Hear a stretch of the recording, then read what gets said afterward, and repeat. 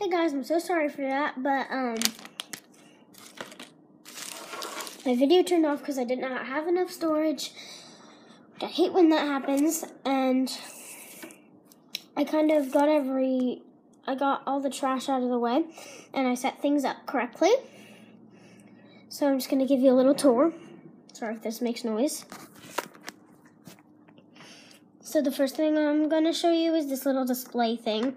This thing comes off so you can put Shopkins on the shelves. I just don't have them on there yet. Because I only use the Shopkins that I got right now. And as you can see, the little blue chairs, the pink table, the little thing that you pull up to see what food you got. And it's like, these legs are really thin and they always want to fall over. That is a flaw to this, but other than that, I really love it. And then a little um Shopkins uh, sign to show you come down and get your sweet treats. and they just have some shelves with some Shopkins I got today. Just now that I showed you guys that I opened with you. And two Shopkins that this bakery set came with was the cupcake and the macaroon. That is the macaroon, and that is the cupcake.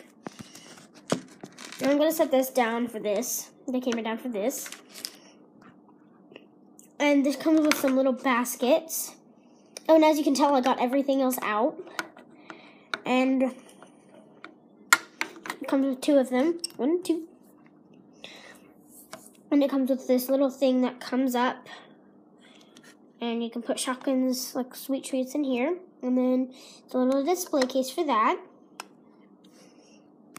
And I may be doing a uh, Play-Doh video later. A whole stack of Play-Doh. see. One, two, three, four, five, six, seven, eight. I knew there were eight. So, thought so.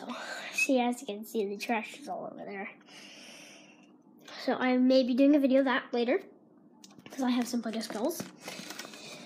And I want to apologize again for the camera breakdown. But other than that, I hope you enjoyed these two videos. And make sure to like, comment, subscribe, and subscribe. What am I saying? And subscribe. And my next video, maybe of me doing gymnastics in the backyard. Or my second to next video because I'm probably going to do a Play-Doh video next. And, um, so see you later. Bye.